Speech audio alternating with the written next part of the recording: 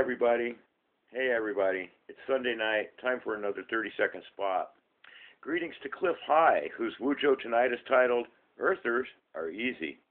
Godlike is exposed as the agent provocateurs that they are. You know, Cliff, you're a visionary activist. You should be on Caroline Casey's Visionary Activist show. Anyway, I highly recommend listening to this one tonight. And um, I've always wondered if Dune has ever been translated into Arabic. It should be. Thanks, kids. Love and light.